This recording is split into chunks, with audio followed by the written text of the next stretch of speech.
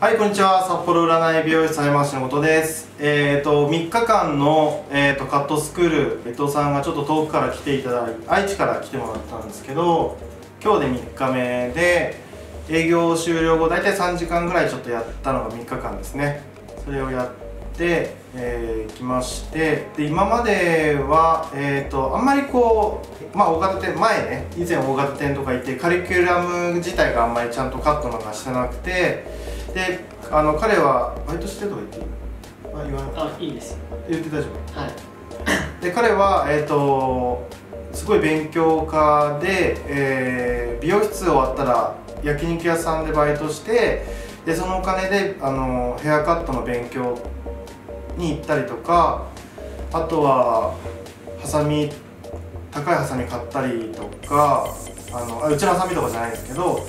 あのそういう高額結構お金をそこでアルバイトしたので結構かけてやって頑張ってるんで僕もちょっと全力でできる範囲3日間でと思ったんですけど最初はやっぱり結構展開図的に考えて、えーミドルとか、まあ、アンダーセクションとかっていう風にやってたんですけど僕真逆の考えであのそういうのも難しいっていうか面倒くさいのでもう基本的にあんまブロッキング取んないで切っちゃう感じ。でカットを、まあ、指導今回させていただいたんですけど、まあ、YouTube とか見て伊藤さん来てくれたんですけどどういつも切ってるいつもはなんかあれだよね細かくこう取って切ってたって感じなんですかね。カットラインとかは。あそうですね。細かく下から切ってそれミドルでこうつなげてて。切って横それに合わせて切ってってみたいなはい。は感じで切ってましたいそれで結局お客さんとかまあそれでまあそのスクール行ったりとかしてお客さん入った時はどんな感じなんですか？そのウィッグ切ってる時とお客さん入ってる時ってちょっと違うと思うんですけどはい。お客さん入った時ってどういう時困りますか？こういう風にしてくださいって言われてでその勉強したことがそのまま活かせるのかなっていう部分が心配なんですけどはい。今までやってた。今までね今日のはね。あー。なんか今までは後ろから切ってたりしてて、はい。はい。はい。でこう左右でま持ってきたら、はい。長さがちょっと癖でこうバラバラだったりとかうまいことこうまとまらなかったりとかはい。あんまりこう仕上がりも可愛いなみたいな感じにできなかったのお悩みであんまりうまくいかなかったなってう感じです。あれかよこのなんかき下から切っててウエイトが上がりすぎるとかそういうこと？はい、角が残ってたりとかあしたりバラバラしてるなみたいなのうんはありましたじゃあやあのお客さん入ってても、まあ、まだね彼まだ24歳なので、あのちょっとまだ美容歴がそんな長くはないんですけどすごい頑張り屋で、あのカットもできるんですけどちょっとお客さん入った時に、えー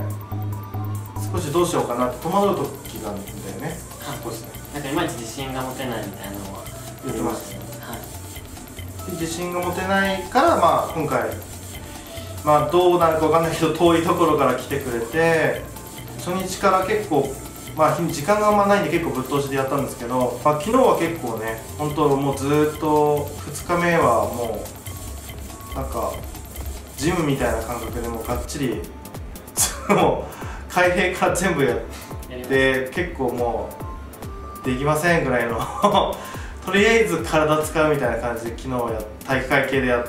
たんですけど今日はまあ最後まとめなんで、まあ、すぐ活かせられるポイントの技だったりとか、まあ、あの彼が持ってるシザーがちょっと使えそうな部分があったんでそれを使ってまあ多分もう明日からできる感じではあると思うんです全体はちょっとすぐはできないと思うんですけど基本的な明日からでさ明日サロンじゃないと思うけどはい。明後日ぐらいかな。明日からできそうなことは何かありますか？とりあえずあれかなあのフラッティングとかああはい。でき,、できそうですね。フラッティングとかはすぐ多分できるから。あとまあ小顔バング作ったりとかは多分できると思うんで。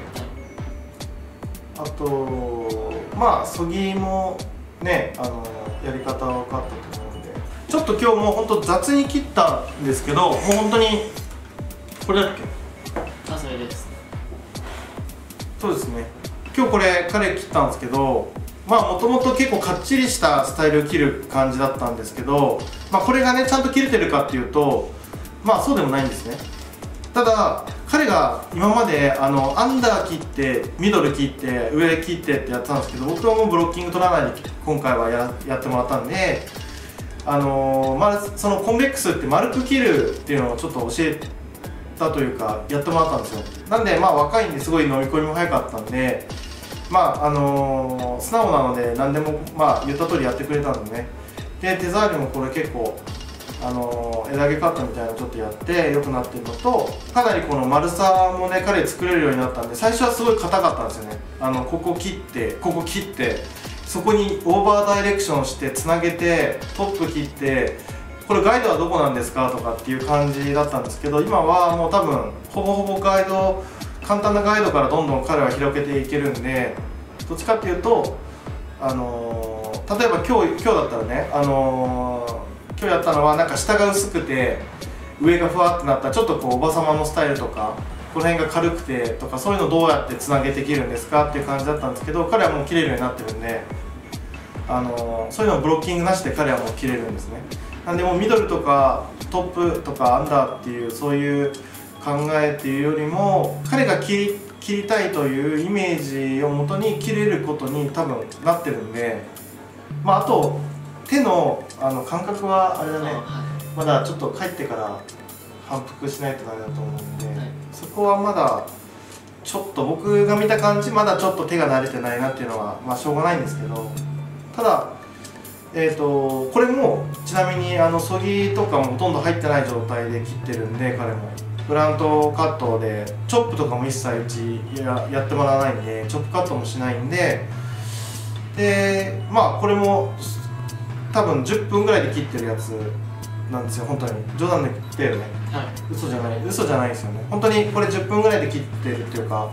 しかもまあちゃんと切ってないよね。適当にさいこ最初こっち切ってあこっちもなんとなく切っといてって言って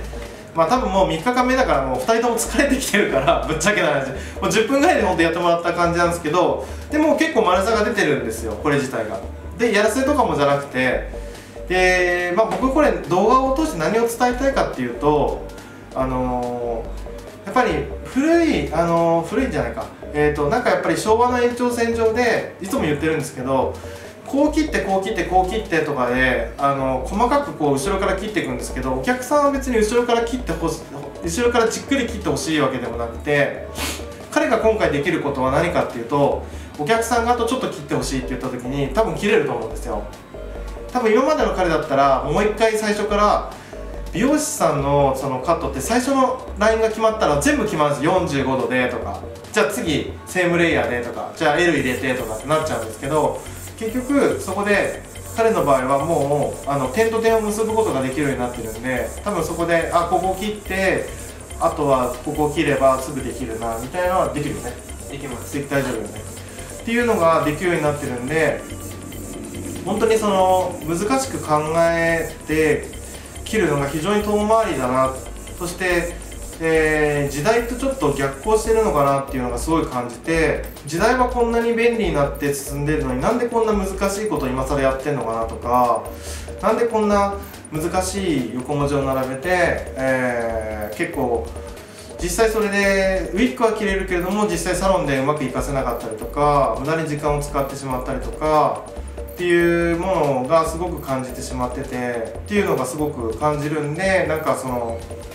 やっぱりちょっとそういうカットの部分を僕は変えていきたいと思ってるんで、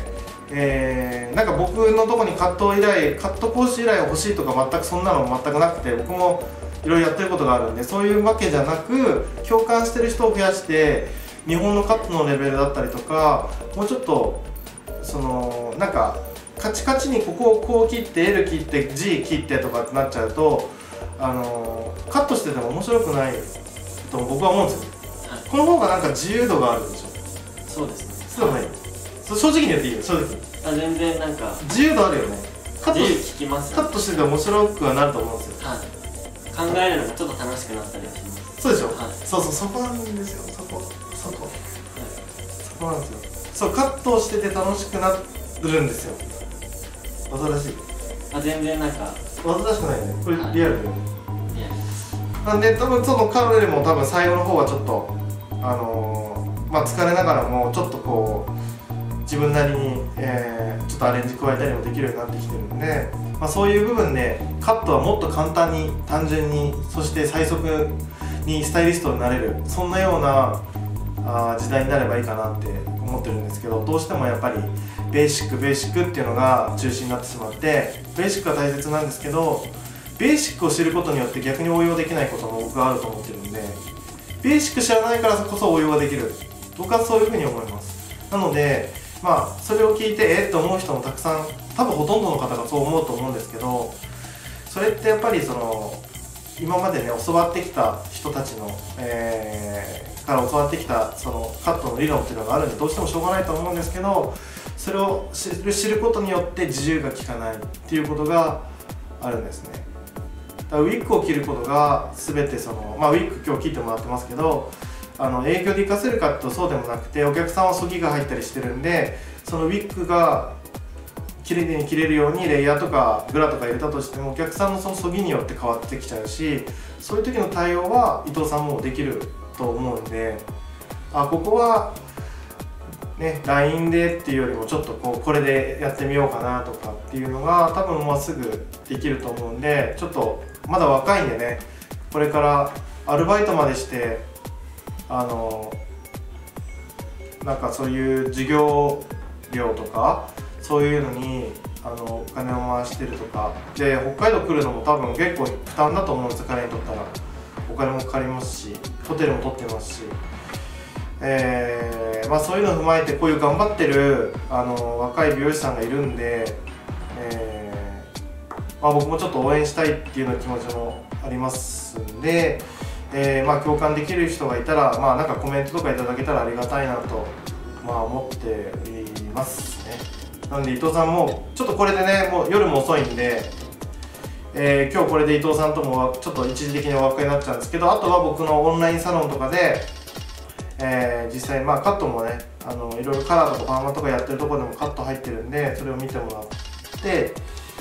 えー、ちょっと少しずつまあ分かんなかったら連絡とかしていただいても大丈夫なんで、えー、ちょっと頑張っていただきたいなというふうに。で彼がね30ぐらいになった時にもうなんかちょっと地元で一番の美容師になってほしいし、えーもっとこうチャラくなってほしいし彼真面目なんですよすごい。ちょっと真面目すぎるんですよね。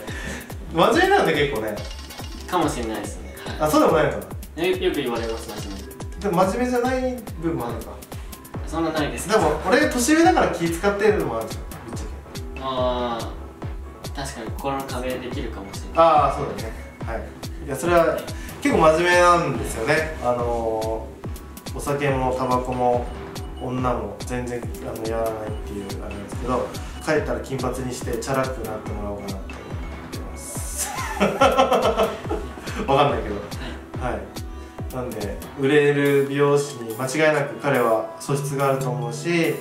こんだけの心意気があるんで、まあ、そういう人はもう全面的に僕は応援したいですし絶対頑張ってほしいし今後の美容界とかでなんか活躍してほしいなと思うんで、えー応援してます。どうぞ。はい。ありがとうございます。はい、まあ、3日間どうでしたか？3日間だいぶ3日前とこの最終日はい。でだいぶ成長できたなっていうのがすごい実感できててはい。来る前はすごい不安だらけだったんですけど、もは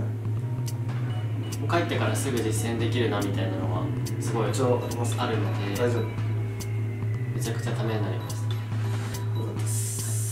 いやもうちょっと全力でやってもらったんで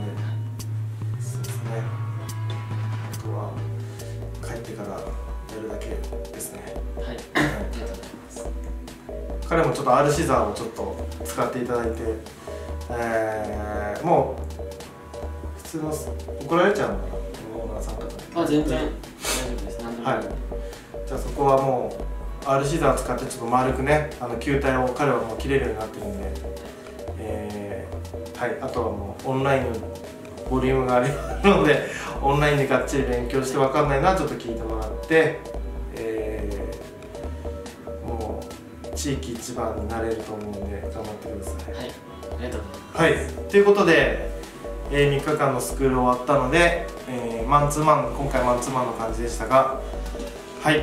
これで終わって、えー終わります。ありがとうございまありがとうございます。したはい。ありがとうございます